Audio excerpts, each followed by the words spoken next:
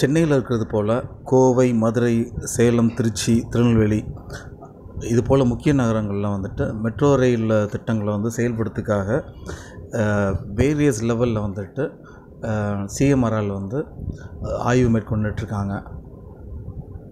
இதுக்கடையில் பார்த்திங்கன்னா கோவை மற்றும் மதுரையில் வந்துட்டு மெட்ரோ சேவை அமைப்பதற்கான விரிவான திட்டறிக்கை வந்து தமிழ்நாடு கவர்மெண்ட்டுக்கிட்ட சிஎம்ஆர்எல் வந்து சப்மிட் பண்ணியிருக்காங்க.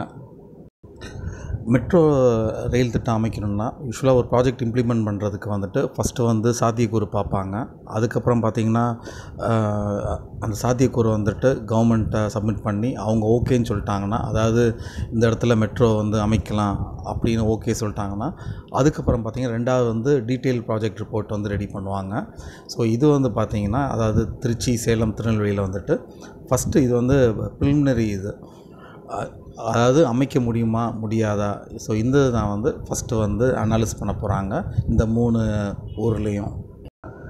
மதுரையிலும் கோவிலையும் பார்த்தீங்கன்னா வந்துட்டு இது ரெண்டாவது ஸ்டேஜ் வந்துட்டாங்க. அதாவது டீட்டெயில் ப்ராஜெக்ட் ரிப்போர்ட் வந்து ரெடி பண்ணுறதுக்காக வந்துட்டு பிளான் பண்ணிகிட்ருக்காங்க வேலையும் நடந்துகிட்ருக்கு அதுக்கான வேலை நடந்துகிட்ருக்கு ஸோ அதனால் மதுரையிலையும் கோவிலையும் அமைகிறது போல் சேலம் திருச்சி திருநெல்வேலி இந்த மூணு இடத்துலையும் வந்து ரயில் அதாவது மெட்ரோ ரயில் வந்து வரும்ன்ட்டு மக்கள் ரொம்ப ஆவலாக எதிர்பார்க்குறாங்க ஓகே ஃப்ரெண்ட்ஸ் இது போல் இன்னொரு வீடியோவில் மீட் பண்ணுவோம். Until then by